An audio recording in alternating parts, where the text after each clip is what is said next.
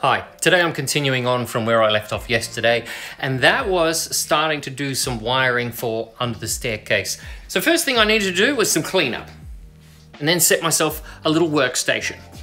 I got the soldering iron out. In fact, it's been such a long time since I soldered. Well, the dead giveaway is I've been living in Finland 10 years. The soldering iron, I used it last time in Australia. There's the Australian plug, thankfully, the adapter. It'll work for me here.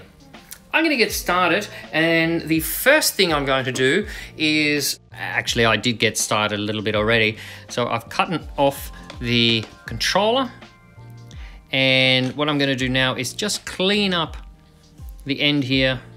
Just needs a little bit of tidy up warm up the soldering iron and just desolder those globs of solder and take those wires off. Then I'll be able to put a new plug on there in a little while.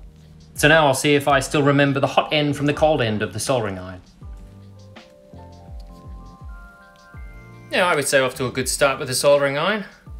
Uh, next, uh, I will actually take this strip and split it into three sections. So each section of this Philips Lightstrip Plus is around 32, 33 centimeters long, and I can fit two segments under each step.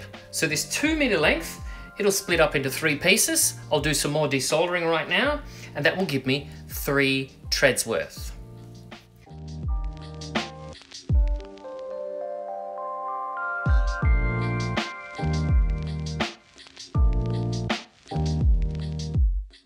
So just separating the first two segments and I was actually trying to desolder them so that they both would come apart. And I realized well, I don't actually need to do that. Okay, I just need to cut it flush on one end where the scissor marks are, and then I have on the other end some solder points to attach my new plug and wires to. So this could be a lot faster and quicker than I thought.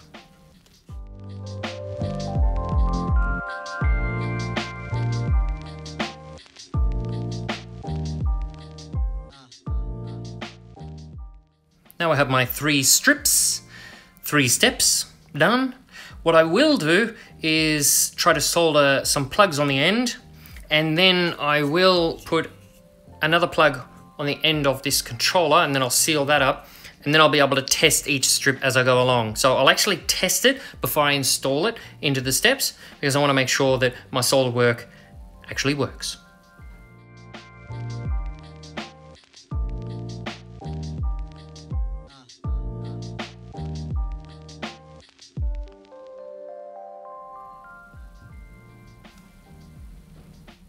Okay, my first bit of tricky soldering.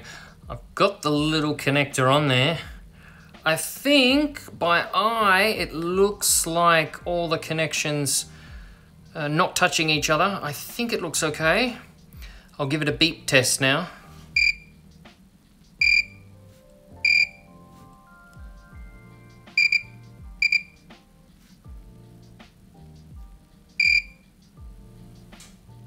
Well, that's a good start.